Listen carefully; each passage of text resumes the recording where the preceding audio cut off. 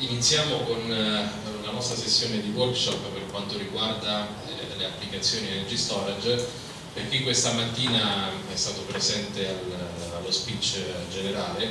abbiamo introdotto eh, alcuni dei sistemi, sistemi per Energy Storage on grid, off grid di Socomec, sistemi che chiamiamo Extend. Andremo oggi pomeriggio ad analizzare tre casi di studio, uno off-grid, uno on-grid e un altro in particolare sulla ricarica dei veicoli elettrici ehm, e di questi poi andremo a, così un pochettino a declinare tutti gli aspetti tecnici e dove possibile anche qualche cenno eh, economico sul, in generale sul, sul progetto.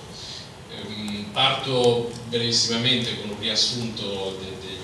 ultime slide di questa mattina, ovvero eh, sistemi on-grid Extansis Extend che includono conversione, batterie e sistema di controllo eh, utili per tutti quelli che sono i servizi di rete, sia eh, per gli edifici che a livello un pochettino più alto per, per impianti utility, per regolazione di rete, taglio dei picchi, ottimizzazione delle rinnovabili e, e chiaramente certificati per l'Italia code eh, c'è 016 e 021. Questi sistemi, come si diceva questa mattina, sono dei veri e propri plug and play, ovvero l'installatore non deve fare altro che comporre i codici che, eh, che i nostri progettisti mettono a disposizione della nostra produzione. Stesso discorso per quanto riguarda la categoria off-grid, stesso sistema di prima, con la differenza che il sistema di controllo è più avanzato ed è in grado di dare funzionalità di backup controllo per tutto quello che è l'architettura delle microreti, minimizzando il, quello che è il consumo di diesel o ottimizzando quella che è la gestione dei, dei generatori e eh, in generale eh, assicurare l'alimentazione di qualità e autonoma della microrete. Si diceva sempre stamattina che tutto questo non è mera teoria o dei prototipi che l'azienda deve ancora mettere in produzione, ma di impianti presenti su diversi siti mondiali, eh, prevalentemente vedete sono microreti, e di questi oggi eh, andremo ad analizzare tre siti eh, in Europa, così rimaniamo un po' vicini a casa, di cui uno proprio in Italia, eh, vedremo un'isola francese del canale della Manica, giusto? Il canale della Manica, il Tesei, primo, la prima elisse rossa in alto a sinistra, un impianto eh, in Italia e eh, questo è, vedete il colore celeste che richiama l'on grid e poi un altro impianto on grid per la ricarica dei veicoli elettrici fatto in Repubblica Ceca. Eh, per quanto riguarda l'impianto sull'isola francese vi presento nostro collega Marc Gorgerian della filiale francese che ha seguito il progetto più da vicino e ha eh, diciamo, il know-how giusto per darci delle indicazioni per quello che è tutta la parte del, dell'architettura di questo impianto, di questa microrete. Grazie. Buongiorno a tutti lì stiamo parlando di, delle tante isole che la Francia ha anche come l'Italia, una isola molto vicina dal continente francese che si, tra, si, trova di faccia alla Bretagna, vi sono delle isole non interconnettate, okay, per le non hanno connessione elettrica con eh, il continente. E lì eh, l'azienda EDF e allo stesso tempo il DSEO e il fa la produzione, il trasporto e la distribuzione perché sono delle piccole isole e la domanda eh, di questo cliente era eh, di limitare, eh, di aumentare prima la produzione elettrica autonoma, gestire delle fonti di generazione differenti, rinnovabili chiaramente, eh, generatori di tensione in parallelo, perché chiaramente con l'arrivo dei sistemi di accumulo arriva un elemento in più sulla rete elettrica che è un nuovo tipo di generatore di tensione che non esisteva prima perché i generatori di tensione li conoscete più o meno come me c'è il trasformatore che è alimentato dalla rete e ci sono i gruppi elettrogeni. Fino a qui generatori di tensione o gruppi che siano gas o diesel non ce n'era più. E adesso arriva sul mercato questa nuova tecnologia di tenere il sistema di accumuli che sono generatori di tensione e che devono convivere sulla stessa microrete o rete con altro generatore di tensione che sono i più conosciuti fino adesso. Dopo c'era eh, chiaramente la regolazione nel periodo estivale dove c'è una grande produzione del solare o del vento dove questo eccesso di produzione solare, se non c'è consumo durante questo periodo della giornata, non lo possiamo buttare a rete perché non c'è una rete per la quale dobbiamo regolare eh, e dopo fare dell'ottimizzazione eh, energetica a livello della isola. Lo che è interessante in questa isola è che c'era della mezza tensione, non stiamo parlando solo di una isola dove c'è una distribuzione bassa, eh, c'è su questa isola eh, una distribuzione in mezza. Questa foto non è quella della isola, la vamo a vedere dopo, però lo che vogliamo decidere qui è che eh, in tutte le isole che abbiamo adesso eh, ci sono delle domande e la domanda principale è chiaro eh, fermare lo più possibile questi generatori diesel perché i primi, quelli che stanno pagando la notte qui lo vogliono il chiasso a 500 dollari la notte dei gruppi idrogeno per esempio okay? il secondo vendono un aspetto naturale dei posti posti lontani, bellissimi, dove chiaramente la emissione dei gas generato per generatore di gas o diesel non è molto accettabile per il cliente, per esempio. E, eh, e lì dobbiamo garantire la, eh, la disponibilità dell'energia e fare un bilanciamento costante tra consumo e produzione, dove non c'è possibilità di buttare l'eccesso su un'altra rete questa, questa gestione del misto fossile tra le energie rinnovabili e il funzionamento dei costi deve aiutare a ridurre o fermare totalmente per periodo della giornata questi gruppi, o la notte o la mattina, in funzione della taglia della batteria che si può avere. Questo vedete la isola francese che è qui, vedete molto lunga, che, la ragione per la quale c'è la distribuzione mezza tensione su questa isola, e questo è l'oggettivo, eh, il target come si dice, di, eh, di, ridurre la bolletta elettrica eh, che è molto cara perché al finale la gente locale lo sta pagando allo stesso prezzo che sul continente, però il costo della produzione non è lo stesso e tutto lo paga eh, la compensa questa differenza e lo pagano noi i nostri imposti. Ehm, quello sono tutto i, la sincronizzazione, la produzione, tutti i target che siano fatti, però lo più importante è che l'interesse del, del cliente qui è di arrivare nel 2025 a una isola totalmente a 100% rinnovabili, vuol dire che va a impiantare più e più energia rinnovabile, però faccia i gruppi, per fare questo se non mette energia in batteria non ci arriverà. Okay? Lo andremo a vedere qui dopo. Sì, siamo qui all'inizio, siamo su una isola dove il 100% della generazione elettrica è fatta parte di gruppi elettrogeni o di gruppo a gas. Dopo si può fare, come lo sapete, una penetrazione con le energie rinnovabili, come per esempio il fotovoltaico, fino a un 30-35% della potenza istantanea dei gruppi se andiamo più avanti del 35% c'è un rischio che questi generatori di corrente che sono inverter fotovoltaico fanno arrivare questa corrente sull'alternatore dei gruppi, la protezione salta e c'è un blackout totale della isola. Al tiri di lì quando si, vu si vuole penetrare un po' più vicino del 50% faccia alla generazione dei gruppi che sempre funzionano, dovete mettere un controllo molto evoluzionato per evitare questi problemi di corrente che ritornano sui gruppi. E quando volete andare sopra del 50, qui deve arrivare un primo passaggio con delle batterie. E gente che vuole arrivare dopo all'80 o al 100% di energie rinnovabili deve chiaramente introdurre una capacità di eh, stoccaggio elevata per poter al finale fare che i gruppi esistenti dall'inizio sono solo gruppi di soccorso e che non lavorano più, lavoreranno solo il giorno che la produzione è realmente brutta o il giorno che c'è un problema sulla generazione a partire dalle batterie e dalle energie rinnovabili. Entonces, questa transizione si fa,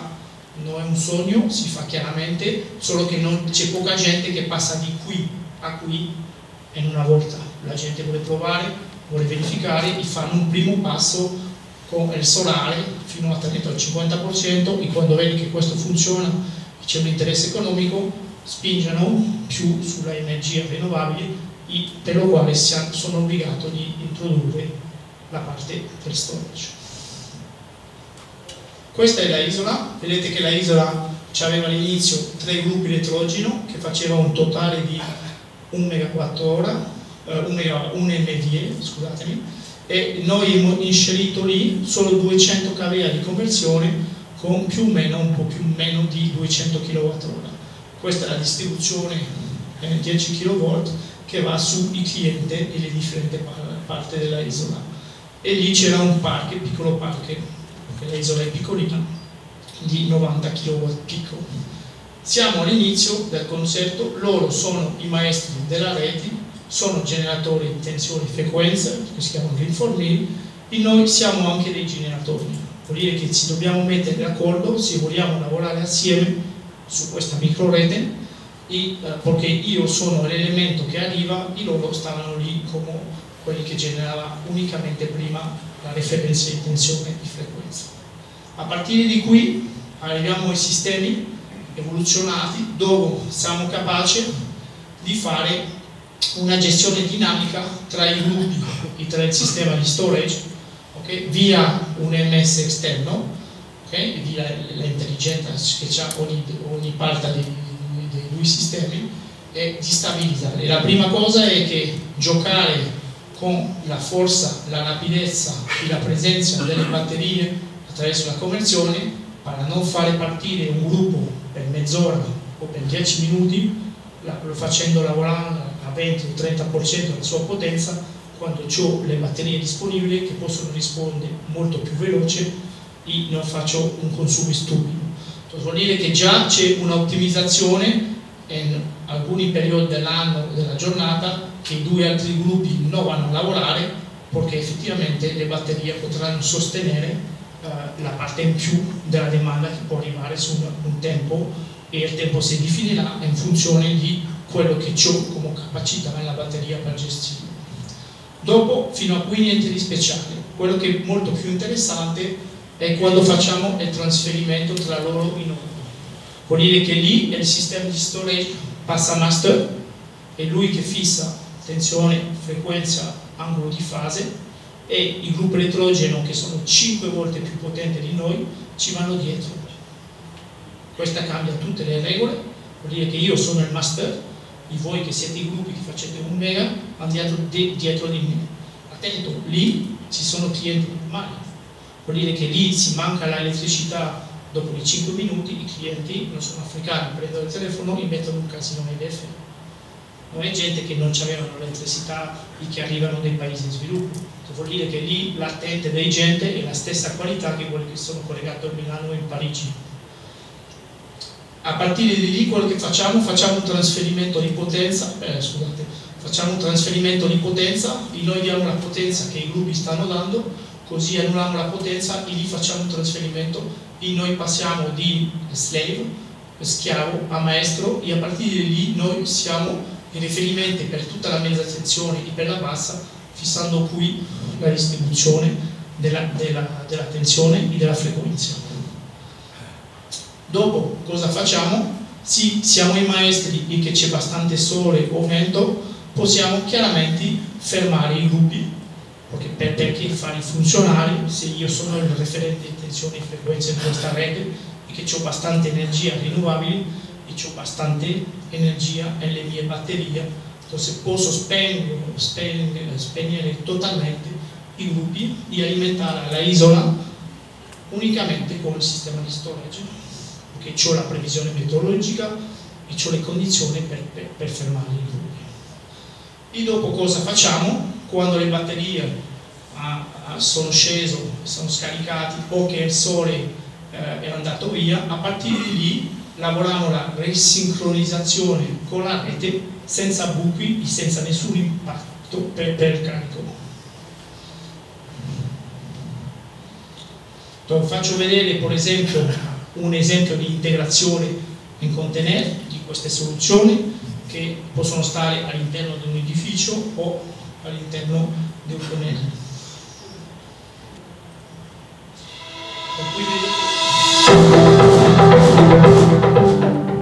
Questa è la nostra fabbrica dove ci sono i container che fabbrichiamo, dove lì dentro ci avete tutto, eh, la conversione, in questo caso sono due macchine da 200,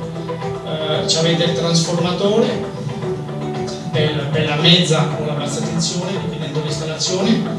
macchine modulari con cassette di 33 kVA ognuno, dopo avete lo che è il sistema anti-incendio con detezione in estensione in incendio per eh, tutto il contenedor e il sistema di controllo della microrete HMI tattile colore dove si vede tutto quello che sta passando in dinamico sulla microrete. Le, le batterie eh, lithium-ion al finale per, in questo caso per mezzo megawattora di batteria più o meno e la distribuzione dei quadri per mettere in parallelo eh, i differenti convertitori e le differenti batterie. Di questo l'avete tutto in una soluzione o in uno più trasformatore per una uscita questo caso a 400 si fanno di 10 piedi 20 piedi fino a 40 piedi eh, secondo la taglia dei progetti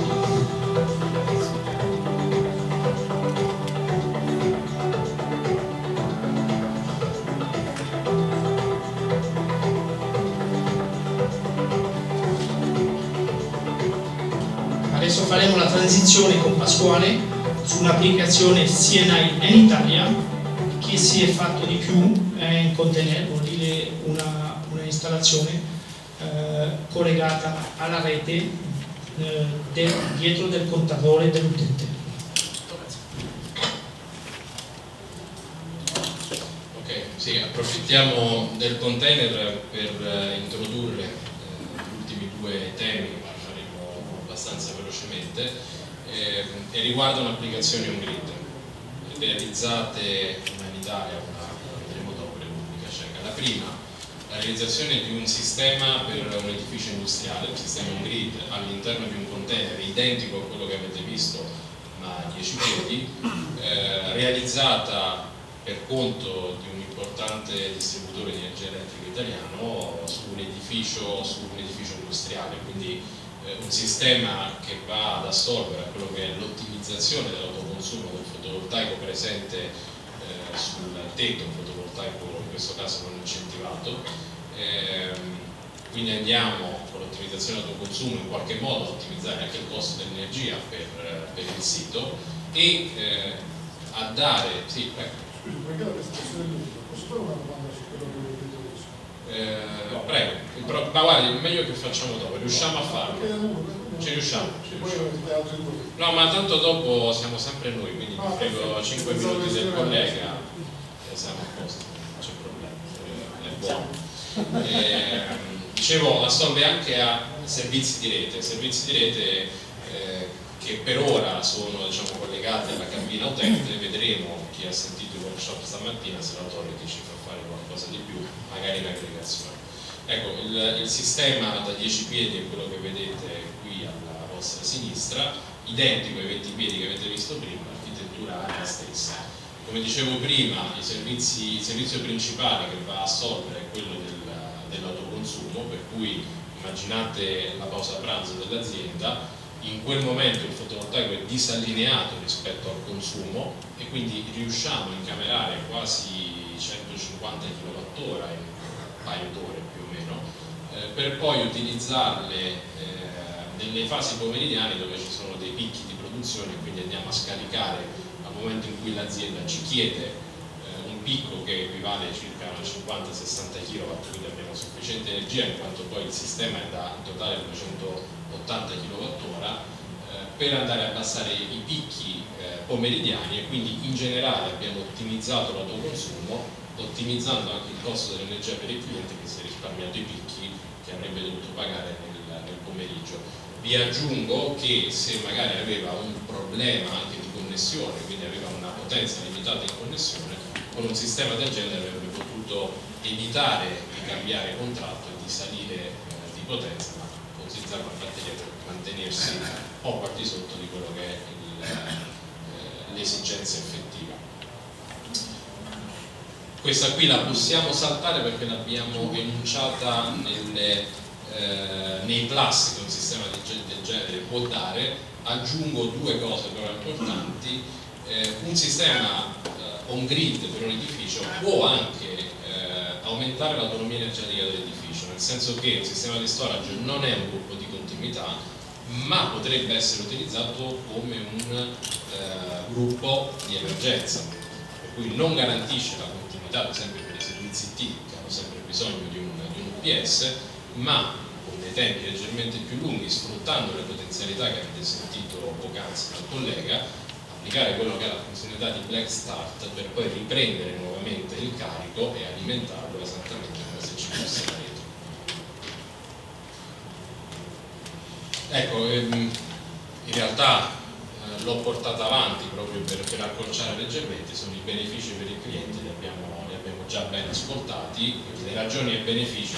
che oggi si riescono a trovare in ambito C&I, quindi in ambito on grid per gli edifici industriali sono proprio quelli dell'ottimizzazione delle fonti rinnovabili su quello che è il consumo della produzione. Per cui utilizzando un po' anche quella che è la nostra strumentazione per l'efficienza energetica, ricavare le curve di carico del cliente e matcharle con le curve di produzione eh, da rinnovabili significa per noi avere tutti i dati necessari per stimare noi o l'energy manager dell'edificio, stimare quello che potrebbe essere eh, un impianto di energy storage utile per eh, l'ottimizzazione energetica in generale dell'edificio. Questo è il collegamento dell'impianto banale, in realtà è semplicemente un sistema di, di generazione bidirezionale collegato da un lato alla rete elettrica nazionale, dall'altra parte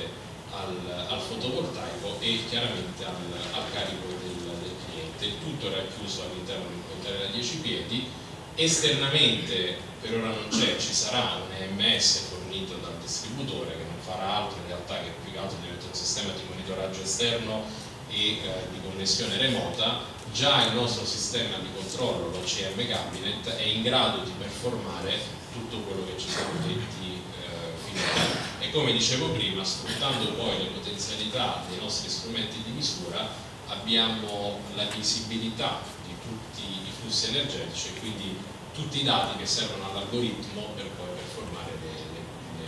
l'ottimizzazione del consumo, in questo caso shape.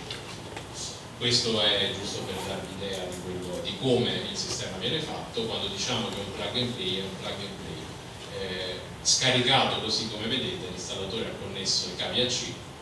è arrivato il nostro tecnico per il commissioning, il sistema è finito. Due giorni di lavoro non di il, il, terzo e ultimo caso è un sistema di, di, eh, diciamo di supporto alla ricarica dei veicoli elettrici. In realtà parliamo esattamente della stessa cosa di prima, è un sistema connesso alla rete che va a solvere esattamente le stesse cose, cioè ottimizza in presenza di fotovoltaico, ottimizza eh, l'autoconsumo e eh, fa anche una gestione di emissione reattiva, di reattiva verso la rete che è un, un, danno collaterale di alcuni tipi di colonnine veloci per via della modulazione degli inverter che utilizzano all'interno. Però prevalentemente sono impianti eh, connessi alla rete che vanno a ottimizzare in qualche modo l'autoconsumo e a fare del peak shaving. Difatti uno dei problemi che si ha sulla ricarica elettrici è la disponibilità di potenza al nodo di allaccio in caso di contemporaneità di ricarica. Quindi nelle prime fasi di ricarica è importante avere un sistema di storage carico per fare un taglio dei picchi e, evitare che eh, il, sistema vada in crisi sul nodo di connessione delle colonnine. Nella fattispecie, ecco questo è il sistema così come è connesso, eh, cambia leggermente ma in realtà è identico al primo, quindi batterie e convertitori connesse su bassa C sistema di misura per l'analisi energetica del, del sito, l'unica differenza è che c'è il carico non è un'industria ma una colonia di ricarica. Quindi abbiamo semplicemente portato l'esperienza on grid che facciamo normalmente sul building eh, su, un, su, un, sistema di, di ricarica. Ecco, qualche foto per mostrarvi quello che è venuto fuori, è un sistema da 132 kW, un centinaio di kWh, come dicevo prima è utilizzato per il taglio di picchi e la massimizzazione del fotovoltaico che è sopra questa pensilina